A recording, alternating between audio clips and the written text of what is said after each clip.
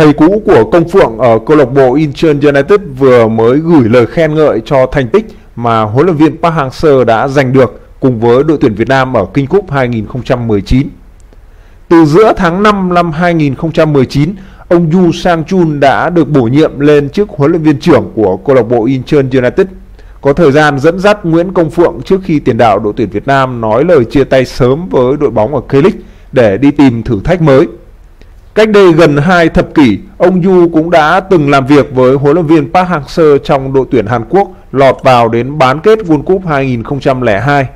Ông Yu Sang Chun khi ấy thi đấu ở vị trí tiền vệ, còn thầy Park là trợ lý cho huấn luyện viên Good Hiddink và làm việc trực tiếp với các cầu thủ người Hàn Quốc. Chứng kiến những thành tích đáng nể của đội bóng Đông Nam Á trên đấu trường châu Á trong thời gian qua, ông Yu Sang Chun đánh giá cao tài lãnh đạo của thầy Park và thực lực của các cầu thủ Việt Nam. Ông Yu Sang Chun nói, từ sau năm 2000, Việt Nam không tiếc tiền đầu tư vào bóng đá. Những cầu thủ giàu tiềm lực gặp tài năng chỉ huy của huấn luyện viên Park Hang-seo tạo nên những thành quả đáng kinh ngạc. Huấn luyện viên Park có năng lực chỉ đạo cùng với khả năng giao tiếp vượt trội để tạo nên một đội bóng vững mạnh Thành tích gần nhất mà nhà cầm quân 60 tuổi này đạt được là cùng với đội tuyển Việt Nam lên ngôi vị Á quân ở giải đấu giao hữu King Cup 2019. Đánh bại Thái Lan ngay trên thánh địa của đối phương, các cầu thủ áo đỏ còn có một trận gây ấn tượng mạnh trước đội bóng của châu Mỹ là Curacao và chỉ chịu thua trên loạt sút luân lưu may rủi. Phát biểu này có điểm tương đồng với lời nhận định của các phóng viên Hàn Quốc thường xuyên theo dõi màn trình diễn của thầy Park cùng với đội tuyển Việt Nam. Trên tờ Sport Chosun thì phóng viên Park Chan-jun từng không tiếc lời ca ngợi thầy Park sau khi đội tuyển Việt Nam lọt vào đến tứ kết Asian Cup. Phóng viên Park nói rằng ma thuật của huấn luyện viên Park Hang-seo là có thật. Màn trình diễn của các cầu thủ Việt Nam được thể hiện qua những tình huống phòng ngự phản công vô cùng ấn tượng. Họ đã cho thấy sức mạnh thể lực, cân bằng giữa tấn công và phòng ngự và khả năng chiếm giữ khoảng không rất hiệu quả. Màn trình diễn của họ mang đầy hơi thở hiện đại Tương tự như đội tuyển Pháp đã vô địch World Cup 2018 ở Nga. Ông Park đã biến tuyển Việt Nam thành một đội có khả năng duy trì chiến thuật và thể lực ở trong suốt 90 phút thi đấu. Bây giờ thì đã không còn ai coi Việt Nam là đội bóng nhỏ ở châu Á nữa. Và bại tướng trước thầy Park và các học trò chính là đội tuyển Thái Lan ở King Cup. Sau cái thua xấu xí để mất thể diện trước đội tuyển Việt Nam, truyền thông Thái Lan bắt đầu giải mã đội bóng số 1 Đông Nam Á. Truyền thông Thái đau với thất bại của đội nhà và đi tìm những người hiểu về bóng đá Việt Nam để giải mã. Đầu tiên là họ đi tìm Kiatisak, cựu cầu thủ của Hoàng Anh Gia Lai và cũng là người đã từng tuyên bố là phải 10 năm nữa bóng đá Việt Nam mới bằng Thái Lan để hỏi cho ra nhẽ. Kế đến họ hỏi huấn luyện viên Park Hang-seo về bí quyết đưa bóng đá Việt Nam tiếp cận châu lục.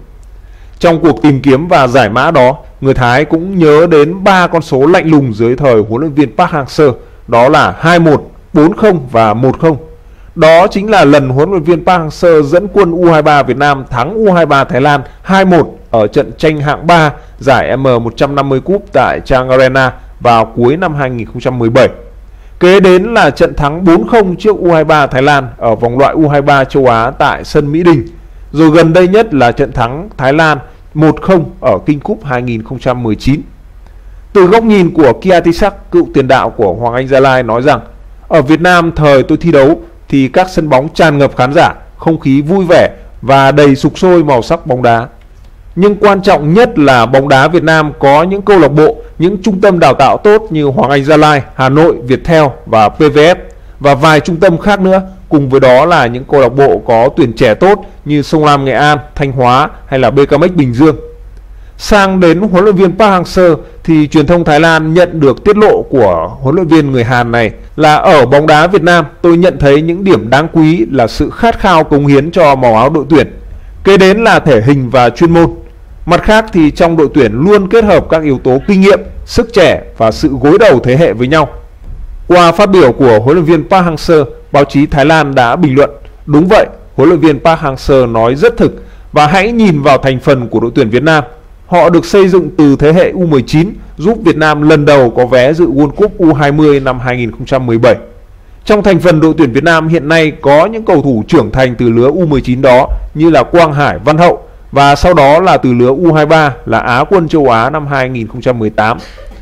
Họ được gối đầu và chia sẻ bởi những cầu thủ già dặn kinh nghiệm như là Anh Đức, cầu thủ đã ghi bàn duy nhất ở trận chung kết lượt về AFF Cup 2018 và cũng là cầu thủ ghi bàn duy nhất trong trận thắng Thái Lan ở King Cup 2019. Huấn luyện viên Park Hang-seo là một chiến lược gia lão làng trong các kế hoạch dài hạn của bóng đá Việt Nam. Báo chí Thái Lan gọi huấn luyện viên Park Hang-seo là chiến lược gia chứ không chỉ là một huấn luyện viên và ca ngợi cách xây dựng các tuyến ở đội tuyển và cách dùng các cầu thủ vào đội tuyển. Truyền thông Thái Lan còn chỉ ra rằng các huấn luyện viên của các câu lạc bộ Việt Nam, nhất là các trợ lý các đội tuyển cộng tác với huấn luyện viên Park Hang-seo khi có điều kiện sang công tác tại Thái Lan là họ tranh thủ đi xem các trận Thái League để nắm thông tin và học hỏi. Từ đó họ đặt vấn đề ngược lại là các nhà làm bóng đá Thái Lan có khi nào làm điều đó như các đồng nghiệp ở Việt Nam hay không. Những ngày qua kể từ trận thua Việt Nam của đội tuyển Thái Lan, dư luận và báo chí Thái Lan đã có những bài bình luận đề cập thẳng và thật như là cảm ơn Việt Nam, chính Việt Nam đã làm cho bóng đá Thái Lan nhìn lại thực tế.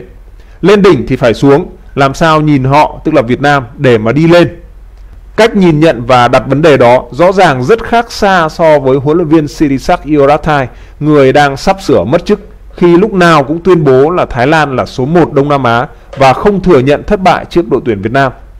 Báo chí Thái Lan còn kết luận và khen ngợi ông Park, vị huấn luyện viên người Hàn Quốc ấy là chiến lược gia tài ba, có tầm nhìn lớn và rộng đối với bóng đá Việt Nam. Và hòa chung với không khí vui mừng sau những gì đã đạt được tại King Cup 2019 thì những người Việt ở tại Thái Lan cũng đã có những lời chia vui cùng thắng lợi của đội tuyển nước nhà. Từ nơi xa, hàng ngàn người Việt Nam đang sinh sống ở Thái Lan chúng tôi xin gửi lời chia vui cùng thắng lợi của đội tuyển chúng ta. Đó chính là những lời chia sẻ của những cổ động viên người Việt đang sinh sống tại Thái Lan. Cộng đồng người Thái gốc Việt hiện nay có khoảng 100.000 người sống tập trung ở 20 tỉnh và thành phố ở trên toàn Thái Lan.